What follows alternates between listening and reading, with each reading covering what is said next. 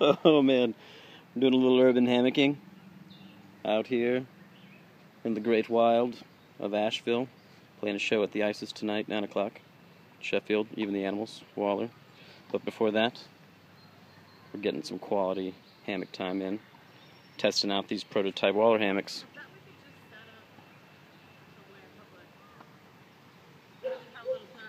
And uh, I'm going to continue on with my nap. We'll see y'all at the ISIS.